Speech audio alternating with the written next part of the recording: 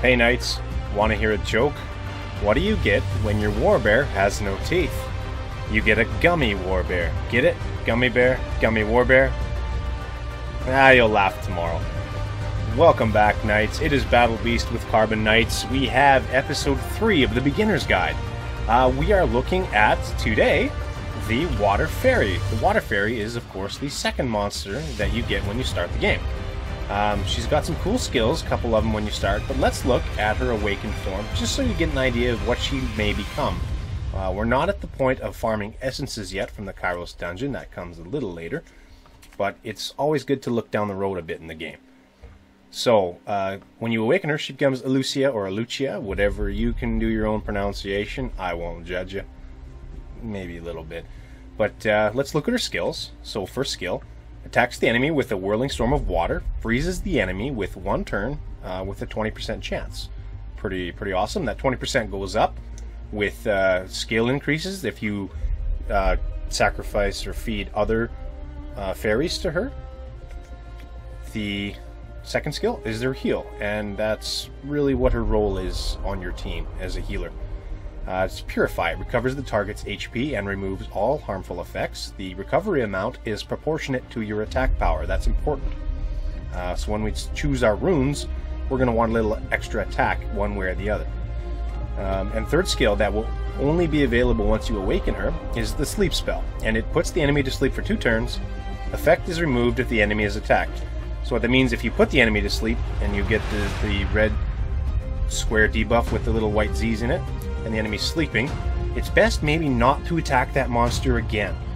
The monster can uh, stay asleep, and then it loses its turn or misses its turn. So you might as well attack somebody else unless you really want that monster dead and it's close to uh, it ending its life. So it's uh, it's not as good as the stun skill, not quite as good as the freeze skill, but still useful if you're not autoing and you're just paying attention and you, you catch it, you use it, you get the, the sleep, and then you hit another monster, just let that one miss its turn.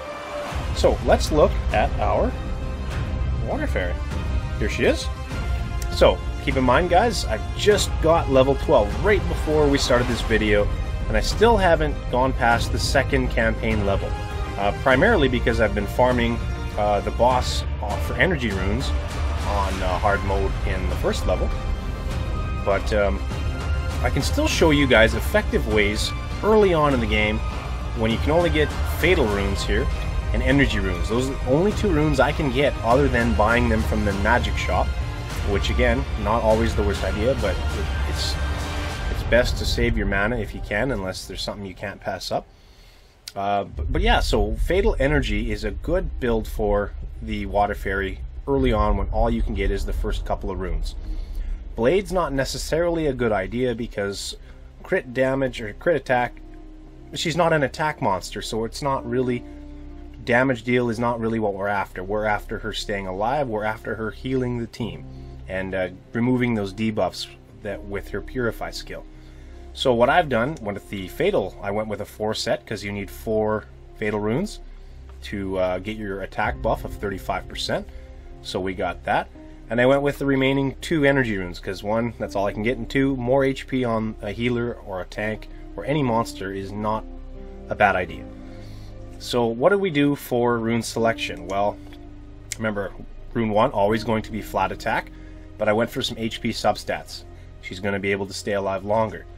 In slot 2, I went with attack percent. Now, one thing I want to stress, guys, in these beginner guides uh, videos, these two star runes, and even if you see me use a one star rune, or even sometimes three star runes, there are so many better runes when you get four and really five and really six star runes later that you shouldn't be upgrading these low level runes that much. Like to level six and to level nine with a really good three star rune.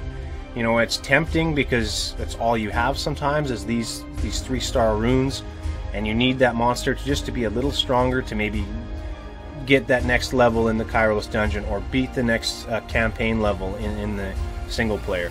But I don't want you guys wasting mana. I'm just showing you what's the right setup. That's what I'm trying to get across. I don't want you wasting money because, ooh, Battle Beast said this rune was good, so I'm going to plus 15 my 2-star attack percent rune. Don't do it. Anyways, back to the rune slots. So slot 2 I went with attack percent, and I went with attack percent because when your monster's stronger, those flat stat runes, an attack flat stat into would be a bad idea. Attack percent I went for because I didn't have a speed rune, which you could use here. It wouldn't be wrong. You also could use an HP percent rune, but I want at least one of my slot 2, 4, or 6 runes to be attack percent because I need a little better heal, and two of the other slots being uh, HP percent, which is what we'll get into, is what I have her on. She has enough HP, so with Fatal Runes and one attack percent rune, her heals get better, and she still has enough HP to stay alive. And that's kind of the balance that I struck, and she's really good for me being only just level 12, like I said, I got right before this video. So, um, slot 3, guys, always defense flat stat. Uh, I got a bonus of 3% as a secondary main stat. It won't change, that defense will never go up, but hey, it's there. And I got speed when I plus 3 this rune, uh, which is good. Speed helps every monster out. Slot 4, I went with HP percent. Now again, I wish this was a 3-star rune, and it will be a 3-star rune. Depending on your teams and how the or how hard the levels are you're facing, you could go with attack percent again. That wouldn't be wrong. Um, but it, it's really, I want my healers to stay alive, and I want them to have speed. It's really a balancing act. And like I said, if you had another attack percent here, wouldn't be the wrong answer. But it would depend if you had speed on slot 2 or not. Slot 5, guys. HP is flat, always on slot 5. I got an extra bonus, uh, 5% attack, which is good for her heal again. So that went on to her. And then I got a 2% defense when I plus 3 this rune. Um, defense is not wrong, it doesn't hurt her, but again, it would have been nice to have HP or attack for her, because those are two main roles, staying alive and healing. And on the final slot 6 rune, HP percent. Again, keep her alive. And I got a little speed here, which was really nice. So, again, if you uh, wanted to go all energy runes, you could as a new player. And uh, all you would want, though, is maybe slot 2, 4, or 6. You'd want two of those to be attack percent, because you don't have the fatal buff that I'm getting here with these four fatal runes.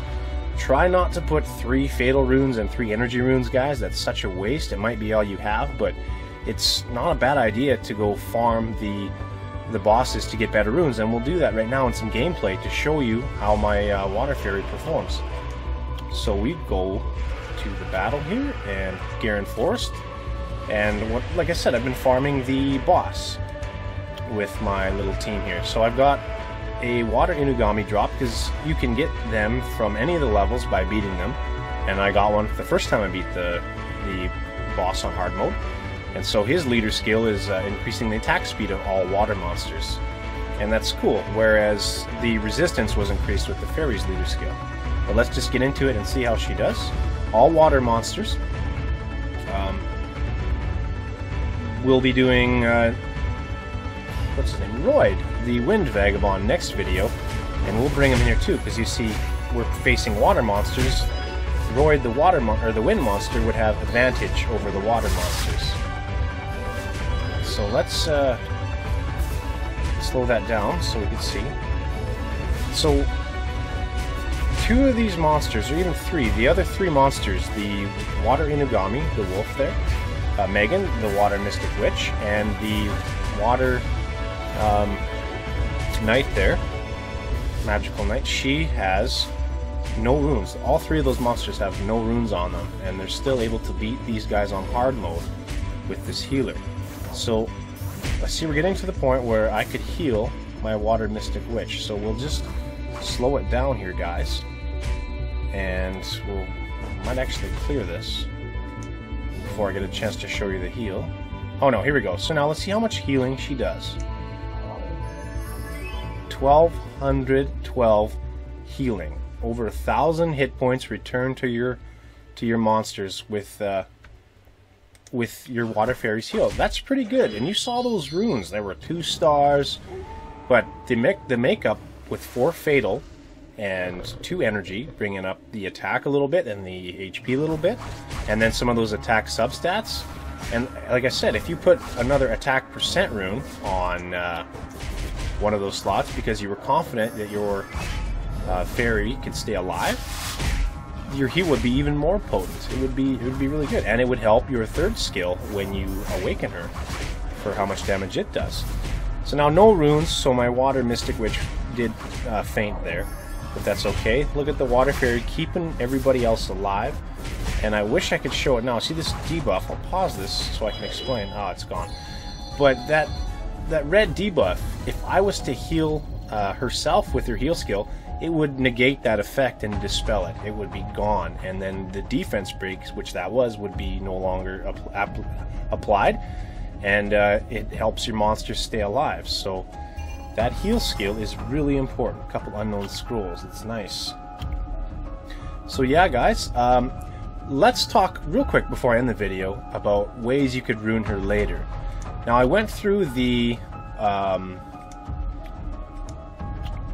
the uh, monster debate and the player reviews, and I didn't find any of them that would let me show you another good build. And I don't have any on my main account because I, I moved past them where they I had other healing monsters that were more useful later in the game.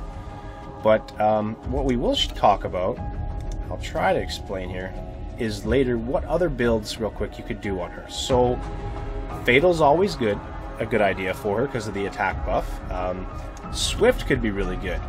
Uh, so kind of covered up here, but four Swift runes, it increases your speed by 25%.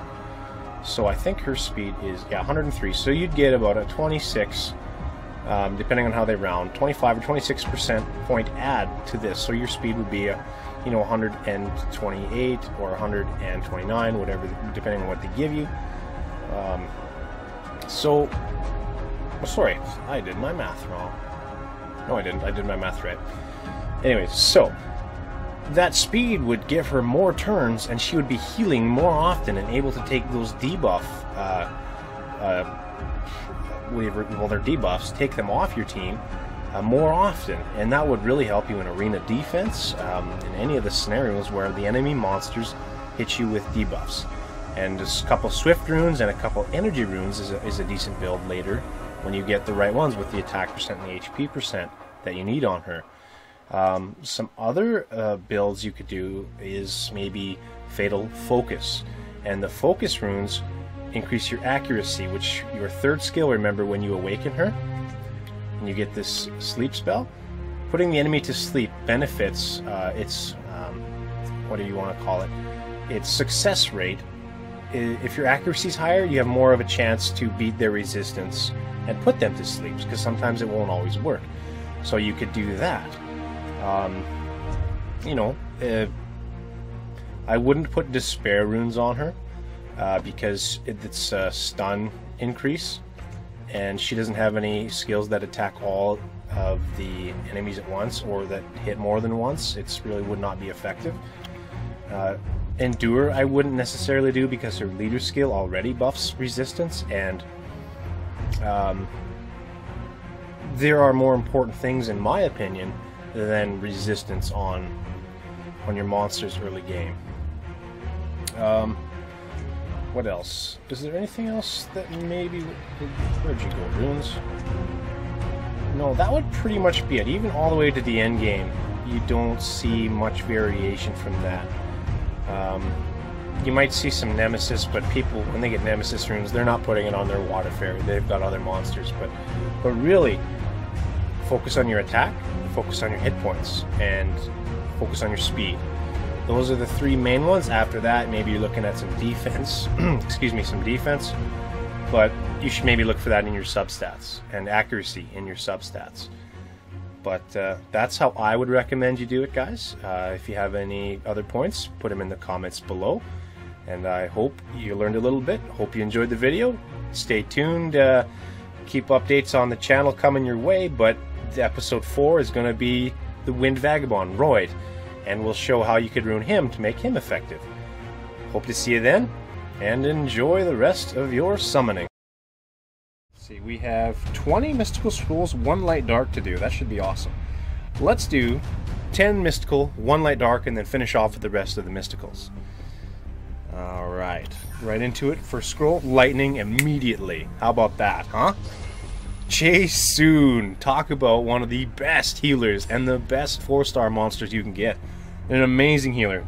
Let's highlight this third skill real quick. Balances the HP. I just wanted to show that real quick because what that does is it just trades. So if one HP green bar is low and one's high, it just equalizes them out, adds a little bit, but it it's not subjected to the, the uh, debuff of unrecoverable, which is the red square with the white cross, which means you can't be healed. This is not a heal, it's an